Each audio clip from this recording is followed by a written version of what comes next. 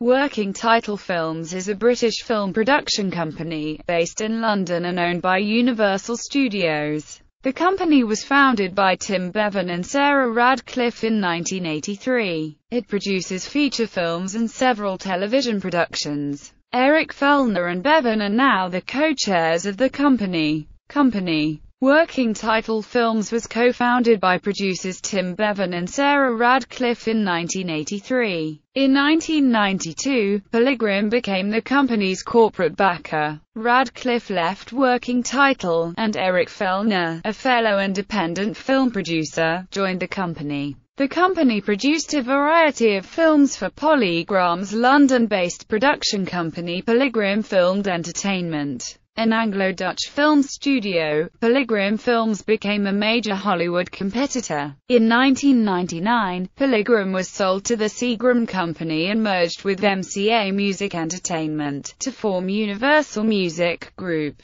Polygram Films was sold and folded into Universal Studios in 1999. Although contractually allowed to produce any film with a budget of up to $35 million, on a practical basis, Bevan and Fellner consult with studio executives at Working Title's parent company NBC Universal. Working Title is located in London. The company also has other offices located in Los Angeles and Ireland. WT2 Productions in 1999, Bevan and Fellner launched a subsidiary company named Working Title 2 Productions, commonly known as WT2. The company is an independent film production arm run by Natasha Wharton, and has produced films that include Billy Elliot, Shaun of the Dead and The Calcium Kid. TV division. Working Title has been active in television production since the early 1990s. In 2010, Working Title officially launched its TV division as a joint venture with parent company NBC Universal.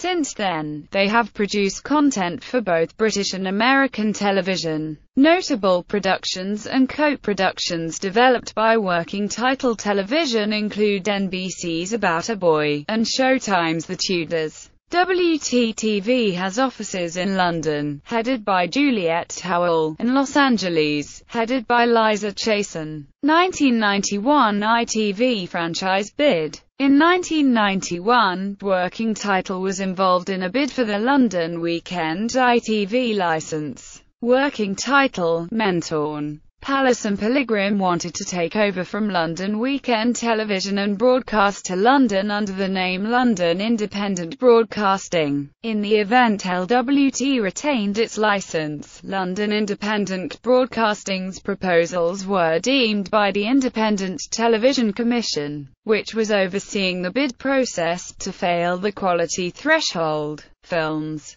1980s 1990s 2000s 2010s Upcoming 2015 The Program. 2016 Hail, Caesar. 2016 The Brothers Grimsby. 2016 Bridget Jones's Baby. 2017 Baby Driver